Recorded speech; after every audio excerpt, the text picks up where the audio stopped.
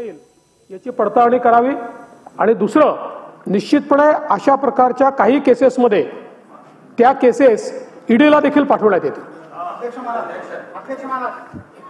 आजमी साहेब बोला. धन्यवाद अध्यक्ष महोदय. अध्यक्ष महोदय मेरे विधानसभा एम ईस्ट में अंजुमन रियाजुल इस्लाम स्कूल जिसका मैं खुद ट्रस्टी हूँ। एक एक। अध्यक्ष मुझे इस स्कूल में बुशरा नाम की टीचर उसके टीचर अप्रूवल के लिए 2019 से डिपार्टमेंट में पेंडिंग है। इसके बाद फिर 2020 में एक जीआर निकला कि जिसका अप्रूवल नहीं हुआ, वो फिर अप्लाई कर सकता है। अध्यक्ष फिर अप्रूवल, फिर उसके बाद हम अप्लाई किया गया। 2019 से पेंडिंग है और वहाँ जो ऑफिसर हैं अध्यक्ष महोदय, वो बार बार ये कहती है कि उनका नाम उर्मिला पांडे, कि हमारे असिस्टेंट राम से मिल लो सर, राम दस लाख रुपये मांग रहा है। दस लाख रुपया जब तक नहीं देंगे, नहीं होगा। मैं आया, मंत्री जी से मिला। मंत्री जी ने वहाँ पे जो है उप संचालक सांगवी जी से को निर्देश दिया। और उप सांगवी साहब ने उस लेडी से बात किया। लेकिन आज तक काम नहीं हुआ। राम से मिलो, पैसे दो तो ही काम होगा। अध्यक्ष महोदय, इस तरह से एम ईस्ट वार्ड में बहुत सारी फाइलें पेंडिंग है एजुकेशन बहुत ही अहम मुद्दा है। अध्यक्ष मेरा दूसरा मेरा सवाल एक है, मैं चाहता इसके ऊपर सख्त कार्रवाई होना चाहिए सर एजुकेशन जो इस तरह से लोग जो है भ्रष्टाचार कर रहे हैं। सेल्फ फाइनेंस स्कूल के लिए बहुत सारी फाइलें पेंडिंग है। कुछ फ़ाइल क्लियर होने के बावजूद डिपार्टमेंट के लोग कुछ ना कुछ त्रुटि निकालते हैं। त्रुटि एक बार नहीं निकालते, एक निकालेंगे, फिर पूरी होगी, फिर जाएँगे, फिर दूसरी निकालेंगे। फिर होगी फिर तीसरी निकालेंगे। मेरा कहना है कि जो त्रुटि है एक बार लिस्ट लगा दो और ज, लगा दो पूरा उसको कर दो। लेकिन जानबूझ करके जब तक पैसा नहीं मिलेगा काम नहीं होगा। ये खुले आम एजुकेशन डिपार्टमेंट हो रहा है अध्यक्ष महोदय ऐसे लोगों के खिलाफ सख्त कार्रवाई होना चाहिए बहुत निर्देश देना चाहिए एक मिनिट हे बघा हा प्रश्न जो आहे तो खरं तर होमकडे गेलाय कारण फौजदारी कारवाई संदर्भात आहे.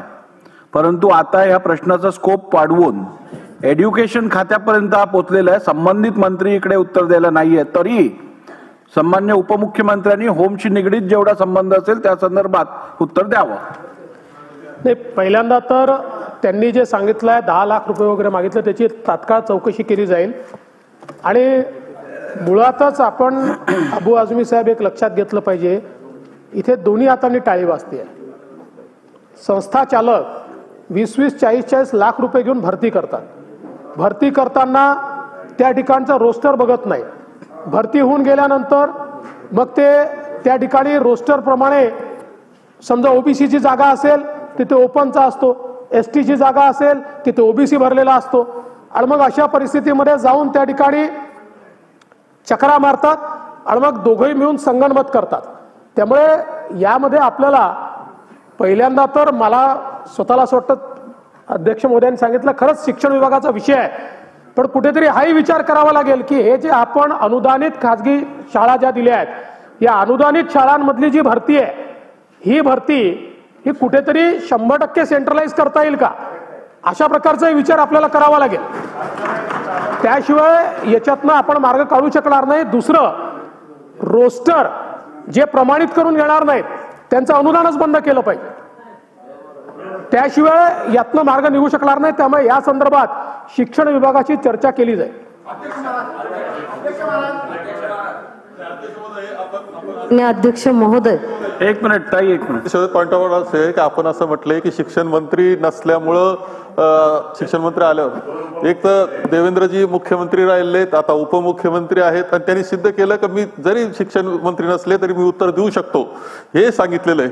त्यामुळं तसं बंधन उपमुख्यमंत्र्याकरता तरी ठेवू नका तुम्ही.